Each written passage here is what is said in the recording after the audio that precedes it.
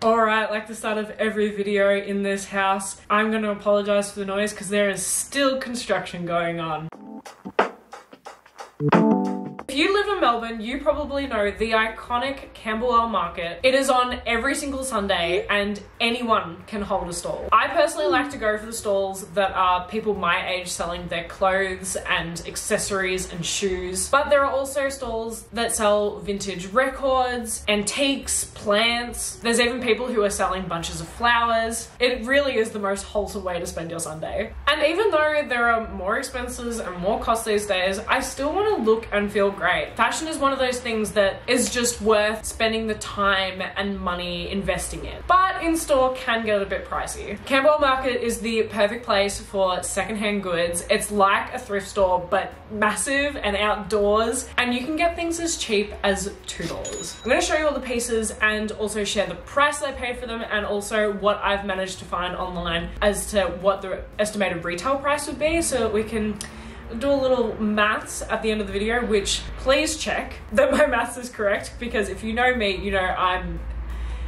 it's not my strong suit. So here's my haul of everything that I've picked up so far this year at Camberwell Market. Starting off, I found this at the start of the year. It's this beautiful mini skirt that looks very vintage, very retro. It's a brand that I am very unfamiliar with called Tarus Paris and it says size three. So when I was looking at the market, I had no idea if it was going to fit me because obviously it's outdoors, there's no change rooms. So that's kind of the gamble you have to have with markets is that you never know if it's really going to fit you. But the neck trick works. You would have seen it, but if you haven't, you just put the waist of it around your neck and if it like fits perfectly around your neck, it should fit your waist. And I swear that trick has helped me every single time I go to the market. I actually don't even know what this material is. It almost looks like it's knitted felt on a mesh surface, but it is the most beautiful pattern. And when I tell you, it fits like a glove. It is the best fitting skirt I've ever had and it has no stretch to it. Because this was so long ago, I actually can't remember what I paid for it. I think it was five to ten dollars it was super cheap. But let's go with uh, let's go with 10 just to be safe. Kind of in the same sort of style. This is a very flowy like hippie looking skirt that actually wraps around so of course it was gonna fit me because you can literally like wrap it around as many times as you need. This one has no brand and to be honest, I wouldn't even know where to look to find where this is from, but it was in a, one of the bins. With most of the stalls in the market, you will have things that are hung up, which is sort of not the more expensive things, but they're the nicer things.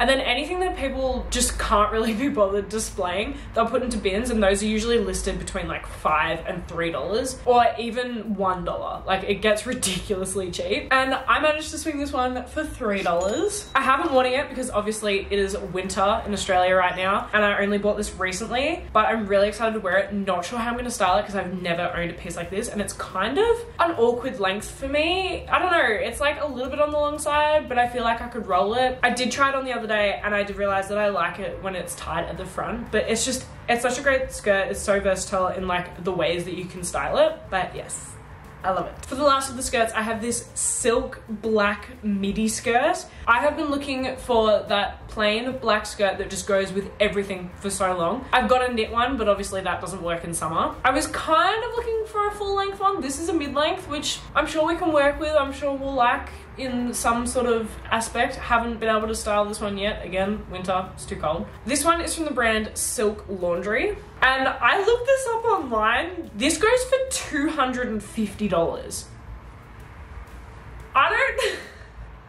$250 for a damn skirt. I don't know if this girl got it also secondhand or if she just wanted to get rid of it, but she sold it to me for $10. I have a $250 skirt for $10. No wonder it's like such a nice material. It's obviously chibi bougie. I only have one pair of pants, which kind of makes sense because again, you can't try things on. So I feel like pants, especially jeans, are a little bit iffy. Although I must say, the first time I ever went to Camberwell Market, I got the best pair of jeans that literally I wore everywhere for $15. And again, fit me like a freaking glove. So you can get lucky or you could be dumb like me and get two sizes too big and just expect it to fit. These are a pair of Glasson jeans. They're just sort of like a straight mum fit. And I don't know why I thought they'd fit me. I don't know why I thought I was a size 12. I'm definitely between an 8 and a 10 when it comes to Glassons. I did try the like button loop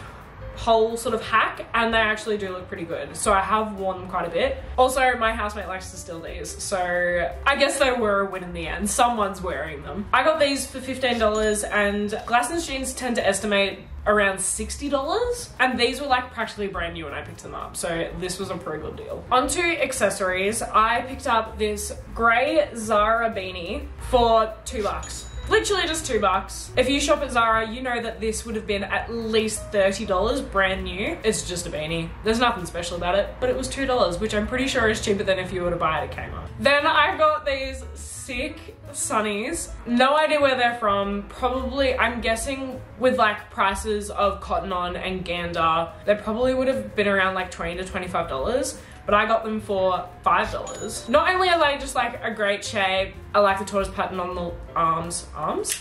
Are these arms? Legs?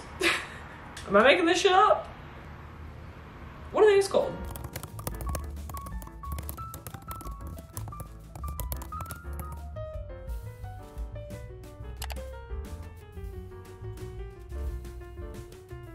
I like this design.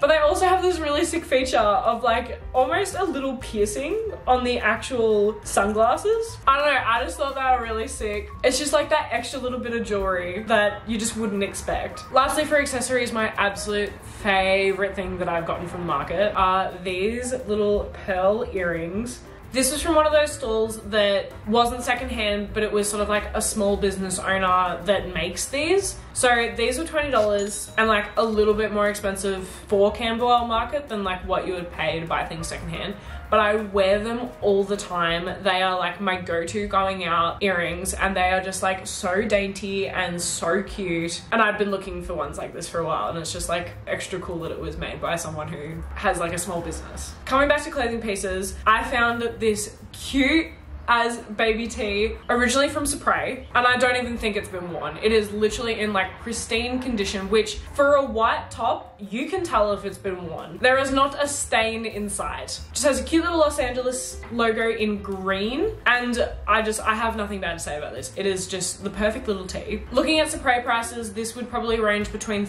20 to $30, which is ridiculous. And then at the same stall, I found this other little baby tee, which is this really nice blue color from Elite 11. And again, just like the most snug, flattering fit. I don't usually love baby tees, but I really want to love them. And these have made me come around to the idea. They're tight, but not too tight where you feel like you're just like stuck in like a sausage casing. That is the worst way I could have explained that. but this feels so nice on. I couldn't find this exact top on the Elite 11 site, but similar things range from like 35 to $50. And all up, the two tops were $5. The next top I have is from the brand called East Street, which I haven't heard of before, but the quality is really nice. Like it's actually quite a thick, comfy t-shirt. Again, couldn't find this exact top. There was something similar that was like a baby tee in this color and like similar design but these range from 45 to 50 dollars and I got this one for 15 and again I swear this is brand new if not worn like two times. If you want to see what these pieces look like on and how I style them, make sure you head over to my Instagram because I'm doing a whole series on reels as to how I'm styling my Camberwell Market finds. Next up, I don't know how to feel about this piece. This is probably the one and only Camberwell market piece that I have thrifted that I, I'm at a loss for ideas. It is this very cute, almost like greeny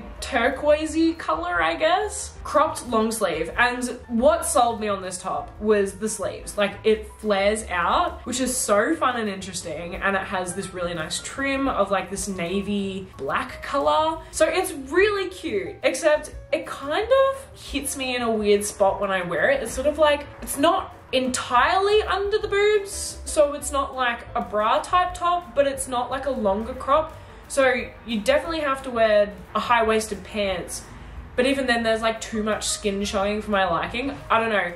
I have pulled this out of my wardrobe so many times trying to figure out how to style this. So if you have any ideas, please let me know because this has been in my wardrobe for a while and I'm really lost for what I can do with this. This is from the brand Sly and I believe I bought this for mm, I think three dollars. Next up, we have a very beloved piece of mine. I have worn this so many times. It is a Rolla's jumpsuit, which I haven't owned a jumpsuit since 2016, 2017 when they were like really big. But the reason I got it is because it is backless. And I had been looking for a backless long sleeve for so long. And this one I bought for only $15. Again, couldn't find this on the Rolla's site, but from what I could see with what else they sell, this would be around $60. Which I mean, like, the quality is really good, so it's probably worth it.